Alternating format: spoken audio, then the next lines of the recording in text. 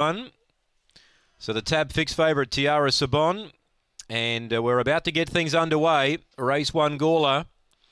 Green light is activated. Set for the first. They're ready.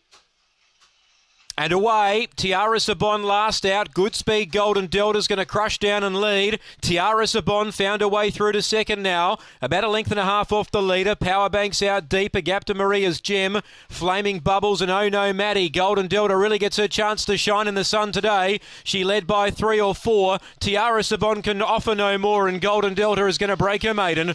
Golden Delta first. Tiara Sabon second. Maria's Gem third. Oh No Maddie fourth. Then came Flaming Bubbles. Last home power bank and the time here on the first around 23 and 46. Late mail successful. Golden Delta for Scotty Feldus. Was able to whiz down the outside, find the lead and set up a good margin. And uh, breaking through today is number eight, Golden Delta.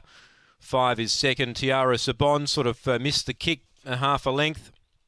But uh, Golden Delta at start number 15 breaks through today. Four gets third, Maria's Gem. And at number two is fourth, Oh No Maddie. 23.46 the run, race one Gawler.